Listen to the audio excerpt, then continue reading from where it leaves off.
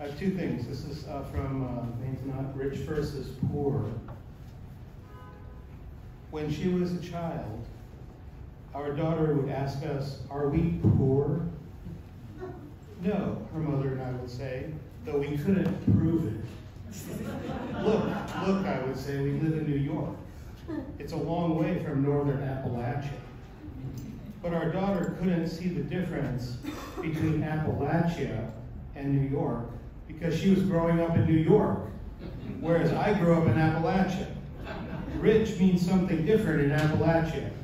It means you own an all-terrain vehicle or a snowmobile. How far would you get in New York with those vehicles?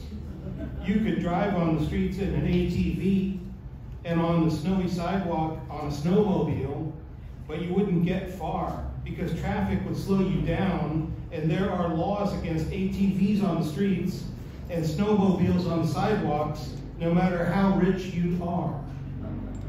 In New York, if you are rich, you'd be better off traveling by helicopter, piloted by someone other than you.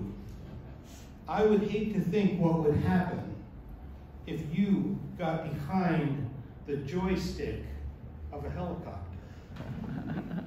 Uh, and my second piece is uh, okay, this is a COVID piece also. Uh, costume piece. It's called Black Mask. I see a man who looks like he's wearing a black mask, but realize he just has a heavy black beard and mustache. Many people wouldn't mistake his beard for a mask because they assume a mask is light blue or white. However, my face mask is black. So I mistake this man's beard for a mask. Maybe some people think I have a heavy black beard and mustache when I'm wearing my black mask. But they would be wrong. I have very little hair on my face and chin.